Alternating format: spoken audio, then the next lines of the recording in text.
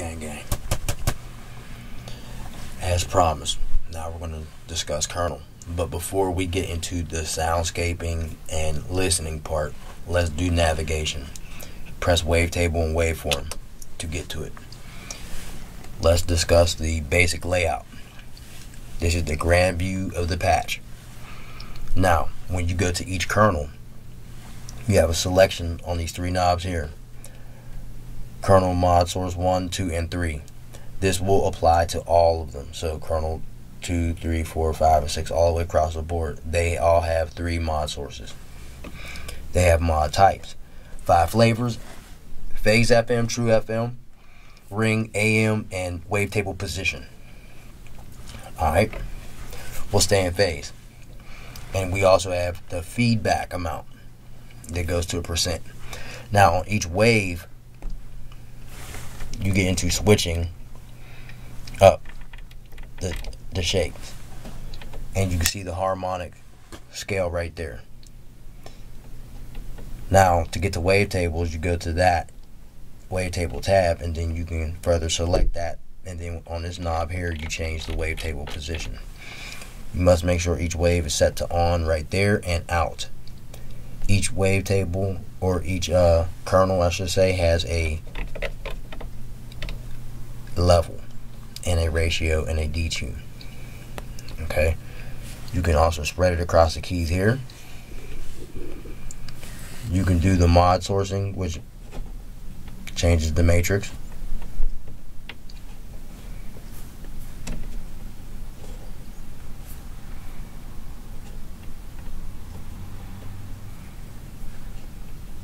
I don't know if you see that.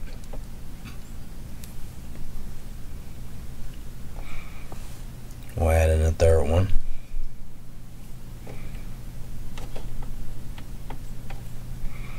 And that is how it changes it around.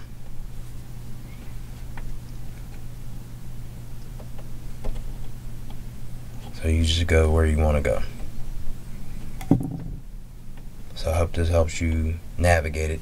Now, let's pro okay, and then yeah, you can change the envelope too. So I'm gonna kill this, turn it right back on. We'll get into soundscape. Yo, I forgot to mention this.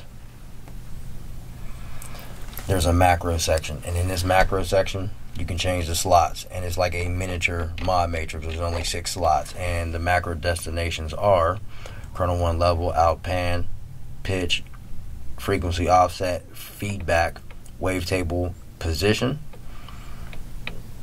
and wavetable, attack, decay, sustain, out. You know what I mean? Basic.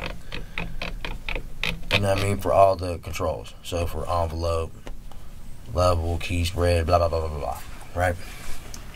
So let's get into some sound design real quick, and let's see what I can pull off. Cause it's very um, ambiguous, right? Very weird.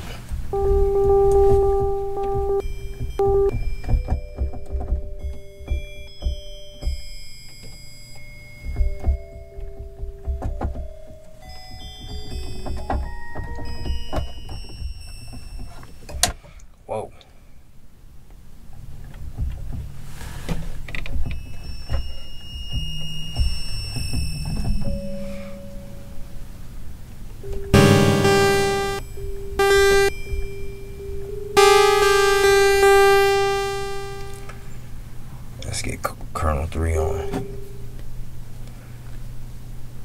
And let's go to oops.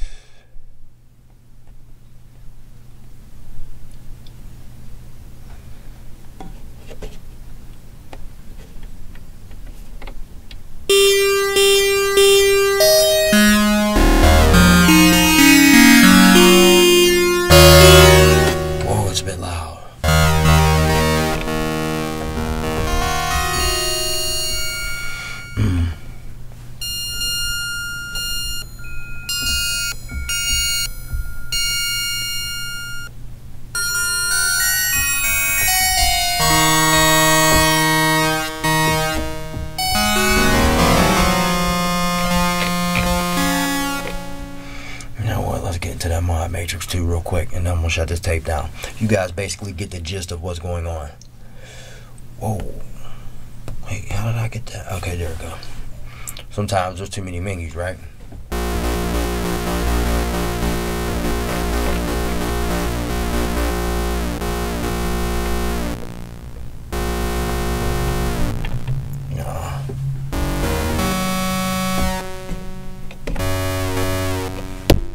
Oops.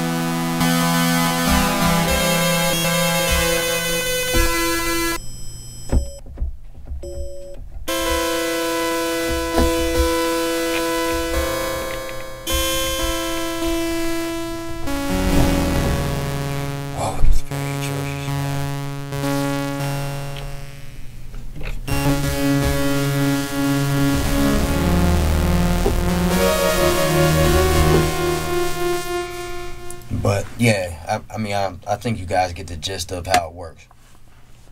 Um, it probably needs a lot more exploring than that. Uh, I would want to say. I mean, it's pretty cool, but like I said, it's a pity that we can't put user wavetables in this. It's a pity that when we phase it, we can't actually see the thing phase in position with that knob on the side here in the middle of the big the big uh, round knob on the side here next to the pads and the screen. That is how you get that rotary encoder to move that value as well as other values down here. Same thing, use the big rotary detented encoder. And that will wrap up kernel. I wouldn't want to get into any more inharmonic content. That's very loud and clangorous and whoa, right? I'll catch you on the next one, and we will pretty much wrap this up, do a little cook up, and see how it sounds musically useful. And, um, and we'll just wrap it up. Can't risk it. White screen got scary. Price point, it could do more. No disrespect. Beautiful uh, design. Like the concept. It's just not for me. I'll catch you on the flip.